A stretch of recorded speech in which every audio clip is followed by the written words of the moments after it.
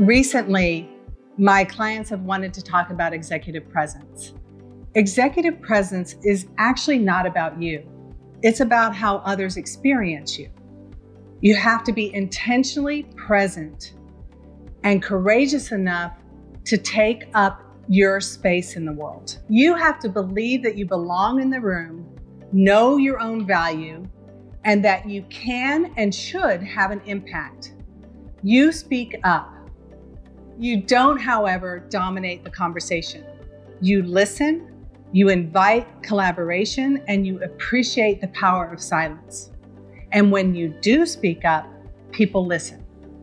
Executive presence requires a highly developed emotional intelligence, the ability to have and experience an emotion and yet still act from your commitment and values. In other words, your behavior is appropriate and does not necessarily reflect what you're feeling.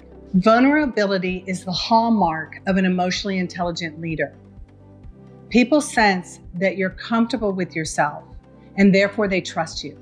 You treat people as equals and power plays do not occur in your sphere. You don't tolerate bad behavior, and when it does happen, you give clear, appropriate feedback. Executive presence often shows up in how you handle challenges and stressful situations.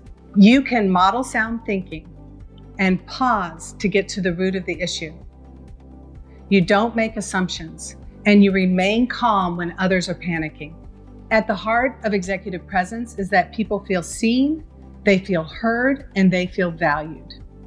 Effective communication is a big part of executive presence. You are comfortable in your own skin and you don't fidget or have distracting body language while communicating. It's not really about you. Executive presence is about how others experience you.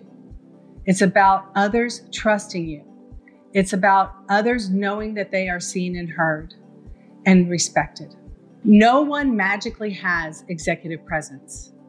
The people you see that have executive presence have been trained, they have been coached, and they've learned how to integrate learning.